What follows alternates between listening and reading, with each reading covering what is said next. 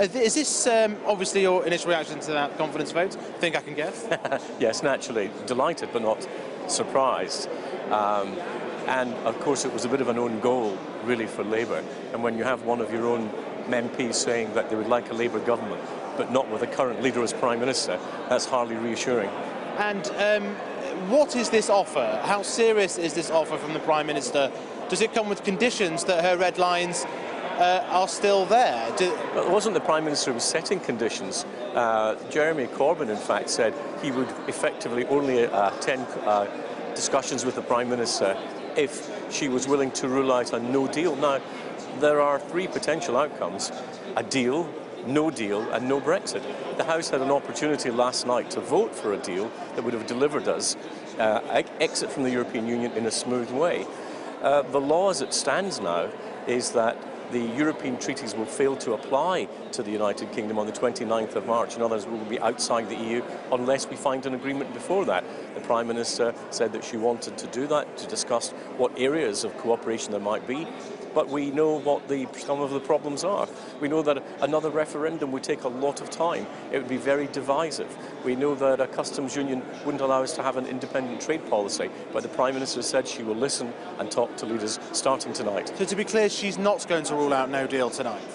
Well, the, the House has, in effect, kept no deal on the table by its decision last night. And MPs need to understand that actions have consequences, and what they did last night means that, that no deal is still a, a potential possibility. So is she willing to talk about the idea of a permanent customs union? Well, there's, the Prime Minister will explore them, but the other party leaders have to understand what the consequences of those would be. The Labour Party have said they want a customs union, but one which enables them to have an independent trade policy. That's not possible. If you're in a customs union, you will have a common external tariff applied to you. They say they want a customs union that enables them to have a say on Europe's trade policy, something that's explicitly forbidden in EU rules and law. so well- it doesn't make any well, sense. Well, we'll say those frills go, and it is just a customs union relationship like Turkey. It is possible. You don't like that? Would you resign if, if the Prime Minister chose to go in that direction? Well, we're just having discussions with other party leaders, I think just won a conference vote. It's not a time to be discussing. No, but you lost. Come on, you lost. Um, the record. I mean, you probably never thought when you were going to be an MP that you'd be part of a government that would set a record like you set last night, the biggest defeat by a government in history. Well, we've also had one of the biggest victories in terms of votes in history. It's, it, these are interesting and unusual times.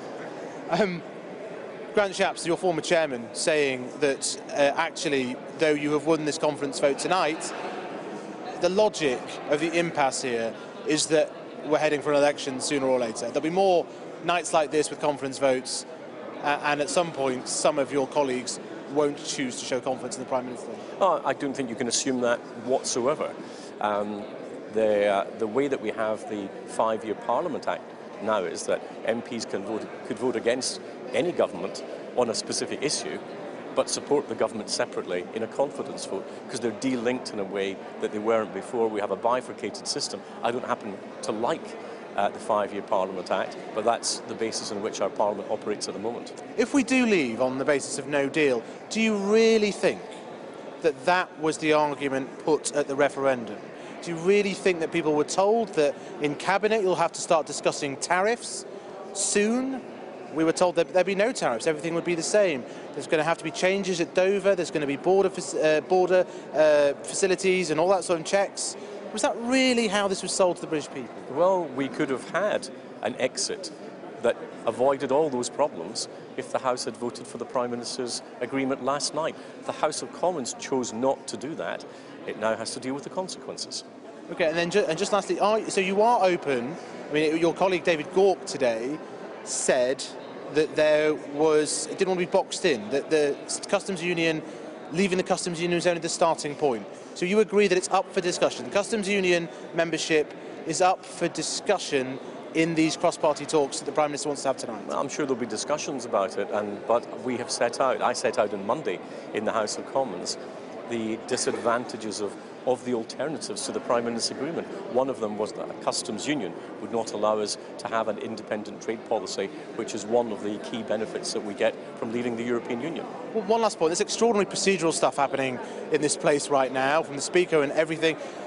The initiative from Nick Boles and Sir Oliver Letwin, respected colleagues, for this place to sort of seize control of the order paper for a day at least, uh, what do you make of that and the perhaps the reality that some of your own fellow cabinet ministers back it?